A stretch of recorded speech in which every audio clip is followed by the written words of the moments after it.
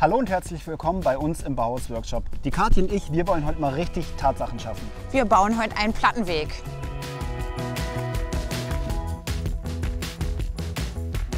Also Liam, du weißt, gute Planung wird meistens mit Erfolg gekrönt. Also worauf müssen wir eigentlich achten? Als allererstes, welche Steine nehmen wir? Wie sieht unser Verlegemuster aus? Und wie doll wollen wir unseren Weg In belasten? unserem Fall sollte schon eine vollgepackte Schubkarre hier rüber fahren können. Das stimmt. Oder mein Motorrad. Oder dein Motorrad. Ja, mit mir drauf. Mit dir drauf. Das ist schon was. Dann kommen wir mit einem verdichteten Unterbau und so einem 5 cm Splitbett gut hin, oder? Ja, da kommen wir ganz gut hin. Na dann lass loslegen. Ja. Ihr solltet natürlich darauf achten, dass ihr das Werkzeug, was ihr braucht, auch habt. In diesem Falle ist es nichts Besonderes, bis auf die Rüttelplatte und die könnt ihr euch ausleihen. Wenn ihr keine zweite Kante habt, dann braucht ihr natürlich einen kleinen Stützfuß aus Beton und dafür braucht ihr natürlich das entsprechende Werkzeug. Bevor ihr richtig loslegt, solltet ihr überprüfen, ob euer Material vollständig ist. Habe ich genug Betonrecycling? Habe ich den Splitter und genügend Platten, um den Weg zu verlegen? Bevor wir überhaupt den ersten Spatenstich setzen, müssen wir erstmal eine saubere Planung machen. Wir wollen jetzt erstmal die Breite und die Länge von unserem Plattenweg abstecken. Bitte bedenkt dran, dass ihr noch 15 cm mehr einplant für den Stützfuß später. Wir haben ja laut Plan 80 cm, also auf 95. Und dann würde hier die erste Markierung reinkommen. Also 15 cm hier von der Kante. Und jetzt Ja, würde ich das Ende markieren einfach. Ne? so.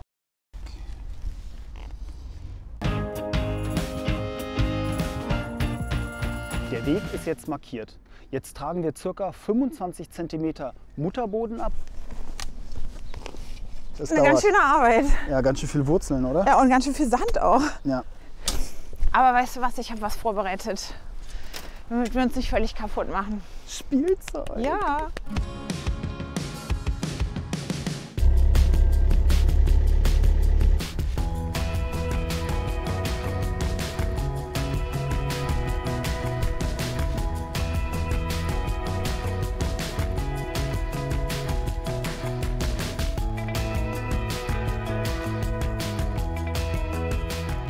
Mit dem Ausschachten sind wir jetzt fertig. Jetzt müssen wir die Grube nur noch befüllen und dann können wir unseren Weg verlegen. Wir brauchen einen verdichteten Unterbau für die Stabilität unseres Weges. Unser Unterbau besteht aus 15 bis 20 cm Baurecycling. Dieser wird mit einer Rüttelplatte verdichtet. Dieser sorgt für Stabilität, Frostschutz und Wasserdurchlässigkeit. Dann sind wir ja hier richtig nachhaltig unterwegs. Ich glaube, hier ist schon fast okay. Das Material für den Unterbau ist drin und jetzt wird verdichtet. Das ist ja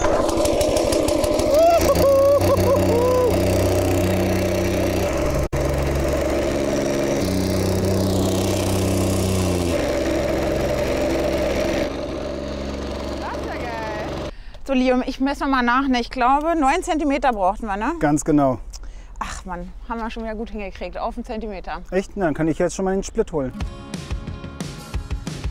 Zum Verlegen unserer Steine brauchen wir jetzt einfach nur noch unser Verlegebett. Dazu nehmen wir am besten hier diesen Pflastersplit, einfach die Grube 5 cm auffüllen. Na denn. Sieht aber auch irgendwie nett aus. Oder? Ja, ne?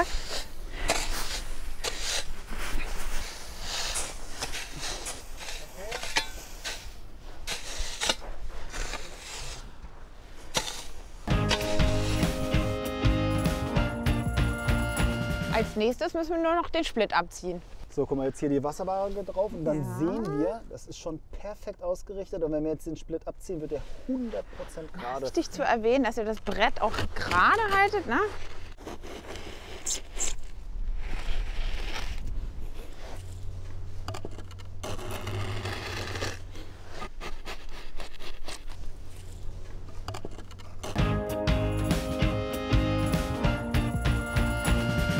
Jetzt kommen endlich die Steine ins Spiel. Bevor wir sie verlegen, müssten wir uns auch über das Verlegemuster im Klaren sein. Dazu könnt ihr euch gerne hier einen Plan machen und dann ergibt sich natürlich auch die Materialliste, also wie viele Steine benötigen wir überhaupt. Und Sinn und Zweck der Sache ist, dass wir auch so wenig davon schneiden müssen. Das Splitbett ist glatt abgezogen, jetzt können wir anfangen, die Steine zu verlegen. Man kann sie mit dem Gummihammer später noch ein bisschen korrigieren, falls das Fugenbild oder die Höhe nicht ganz stimmt. Verlegebett? Genau, dann haben wir hier noch eine Flucht mit dem Dünenweg. Genau, ich gebe sie dir hier ran. Guck mal, okay. Ist dir äh, falsch erzählt. Alles gut, kein Problem.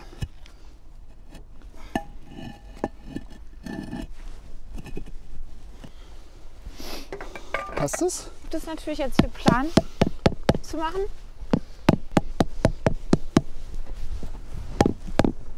Relativ schnell. Genau. Gut.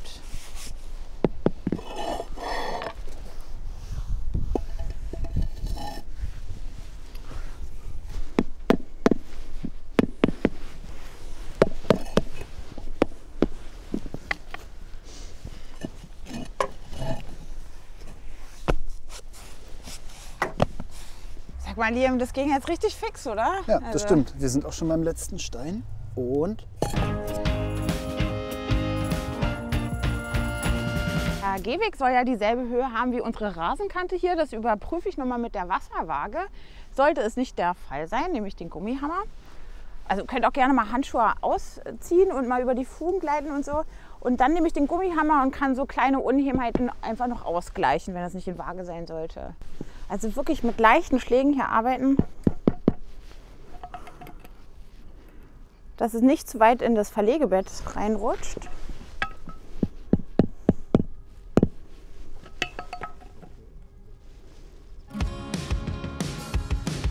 unser Weg hat ja auf der einen Seite schon eine Kante und damit sich unsere Steine nicht bewegen, bauen wir hier noch einen kleinen Stützfuß aus Beton. Ich gehe jetzt hier so seitlich mit der Kelle rein, damit ich nicht zu viel Split von dem Stein wegnehme, dass der nachsackt. Und dann kann ich das hier richtig schön wegnehmen. Dass es dann ungefähr 2 cm, 2 bis 3 cm unter der Kante ist. Wir nehmen den Split weg bis zum Betonrecycling, weil auf dem Split würde der Beton für den Stützfuß nicht halten.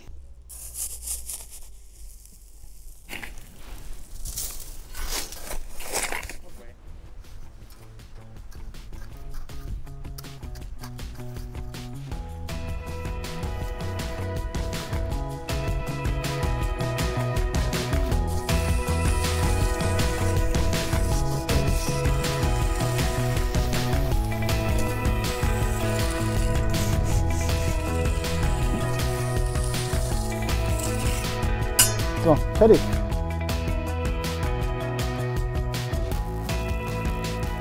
Ich finde, der Steinweg ist richtig gut geworden und besonders gefällt mir der Kontrast zwischen dem Holzweg und dem Stein. Ja, Kathi, das finde ich auch. Und am Ende ist es ja relativ flott gewesen, oder? Ja. Wenn euch unser kleines Video gefallen hat, liken bitte nicht vergessen.